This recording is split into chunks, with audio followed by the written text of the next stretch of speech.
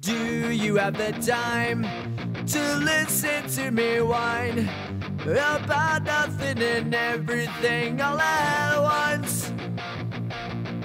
I am one of those melodramatic fools, neurotic to the bone, no doubt about it.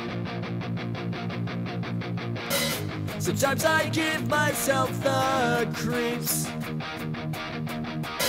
Sometimes my mind plays tricks on me. It all keeps adding up. I think I'm cracking up.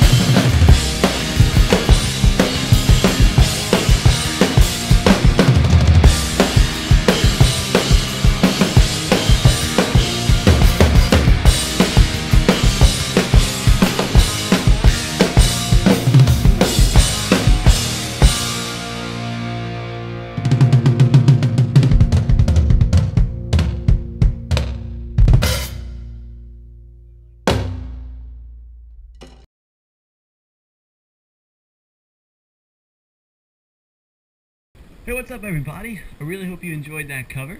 Now, this is a new section of my upcoming videos that I'm going to be trying to include pretty much every time. Um, you guys have really asked for uh, a smaller setup. Like, I played the big kit for a little while, and everyone thought that was awesome and fun for a little bit, but you wanted me to break it down into a smaller kit so that a lot of you out there, when I'm playing something, you can take that directly and put it on your kit. And so, today is the first video that I'm going to start doing pretty much a new setup for like every video. I really wanted to switch it up, change it up, show you some different configurations, give you some ideas for setups and stuff, and really just challenge myself to come up with some interesting things.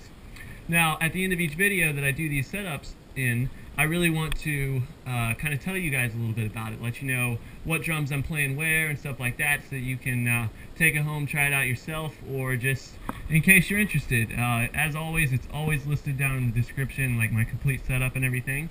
But for today, uh, I am playing on the Pearl Export Series, the new EX, EXX Export Series. Um, this is a four-piece kit compared to the normal seven-piece that I play. I've got my 14 by 5.5 inch snare here. Then I've got a 12 inch by 9 inch, uh, 9 inch depth tom mounted on a snare stand. And then over here I have a 16 by 16 inch floor tom and a 22 by 18 inch kick drum.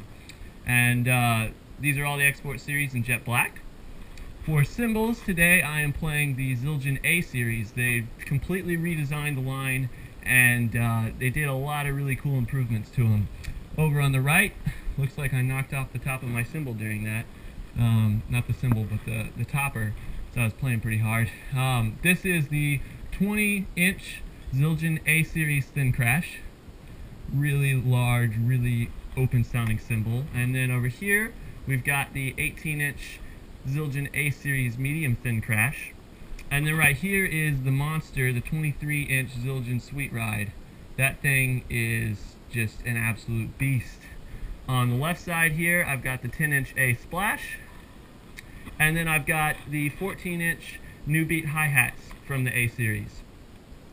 On the floor, I'm playing the Pearl Demonator double pedals. I've got the H930 hi-hat stand that has the footboard that matches the double pedals.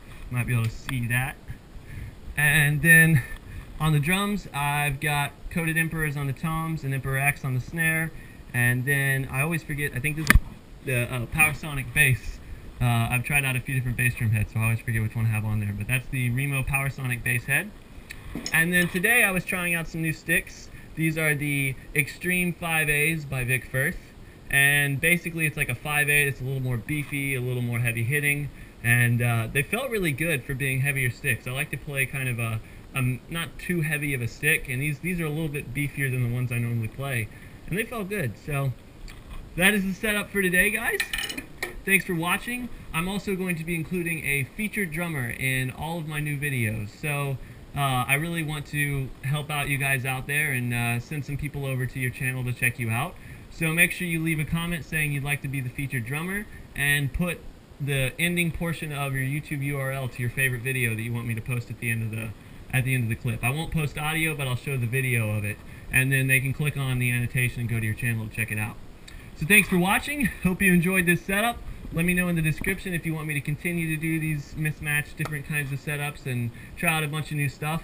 As you can see, I don't have anywhere to put all the other cymbals I took off the kit, really, so they're up against the wall for now. I'm trying to figure out what I want to do with them. I took the kit apart last night, but I'm going to be swapping those in and out. I've got the A Customs, the K Custom hybrids and stuff, and we'll be switching them out and trying out a bunch of different cymbals and a bunch of different setups. So thanks for watching, and as always, subscribe for some more, check out some more videos, and let me know if you got any ideas for future covers down in the bottom. I uh, love requests, love to try and do as many as I can, so send them my way. Thanks for watching, guys, and have a good one.